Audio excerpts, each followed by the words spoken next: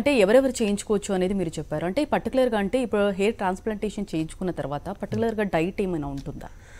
Diet అంటే కొంత modification అవసరం అయిందండి మనకి హెయిర్కి సంబంధించిన ఆ, ప్రోటీన్ డైట్ని కొంచెం ఎక్కువ ఎంకరేజ్ చేస్తాము. విటమిన్స్ ఉన్న డైట్ని ఎంకరేజ్ చేస్తాము.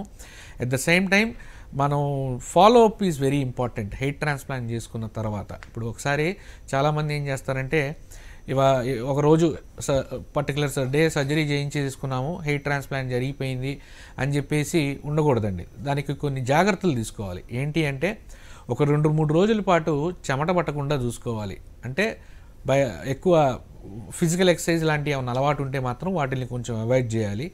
Okay? At the same time గట్టి పదార్థాలు నవలకుండా ఉండాలి. ఎందుకంటే మనం గట్టి పదార్థాలు నవ్వటం వల్ల ఈ మజిల్ యొక్క యాక్షన్ చాలా ఎక్కువగా ఉండటం వల్ల మనం చేసిన హెయిర్ ట్రాన్స్ప్లాంటేషన్ మీద ప్రెజర్ పడే ఛాన్స్ ఉంటుంది. సో గట్టి పదార్థాలు తినకూడదు చెమట పట్టకుండా చూసుకుంటూ ఉండాలి.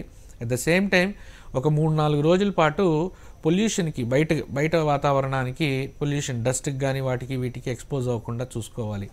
బట్ ఆఫ్టర్ థర్డ్ డే నుంచి రెగ్యులర్గా మీ యొక్క రెగ్యులర్ యాక్టివిటీస్ చేసుకుంటూ ఉండొచ్చు. దానికి ఎటువంటి ఇబ్బంది లేదు.